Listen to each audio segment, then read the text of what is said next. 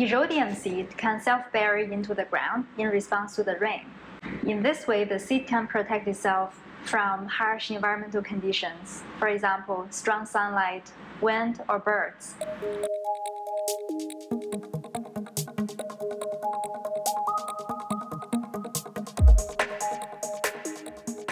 In order to have a self-burying carrier to drill into the ground, it has to be really stiff. More importantly, wood is a hygromorphic material.